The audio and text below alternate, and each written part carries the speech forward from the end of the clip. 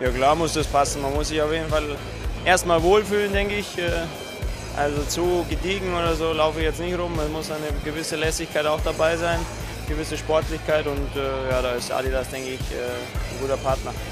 Es ist nicht so wichtig. Ich denke, man, man muss sich so kleiden, wie man sich fühlt, wie man äh, sich am bequemsten fühlt und so tue ich es auch. Und, äh, natürlich gibt es manche Klamotten, die sind ein bisschen schöner als die andere, aber es ist nicht so, dass ich am Morgen aufstehe und sehr lange brauche, um zu entscheiden, welche Klamotten ich anziehe. Ich glaube, die haben alle ein, äh, ein wie sagt man das, ein, ein Talent und, und die, die machen alles dafür. Und äh, ja, ob es dann mit Musik äh, zu tun hat oder mit Sport, mit Fußball, äh, ich glaube, die leben dafür und, und, und die haben, haben viel gemeinsam, glaube ich.